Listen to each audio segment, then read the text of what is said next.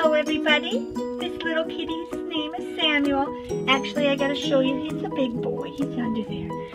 And he's here because his former owner was moving. Oh, he's so shy. He's so shy. But he's a good kitty cat. And he likes to hide in his blankies. But once he knows you, he's he's gonna be a nice cuddle bug for you. Oh, honey. He hides his little head. We peeky peek.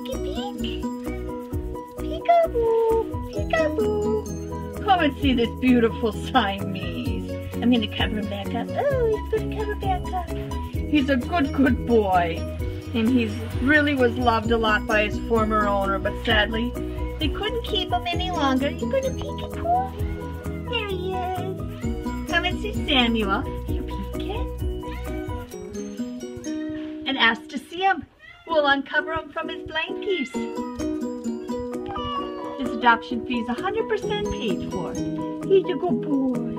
He's such a gentle kitty. Yeah, Samuel. He's just nervous. Come give him a chance.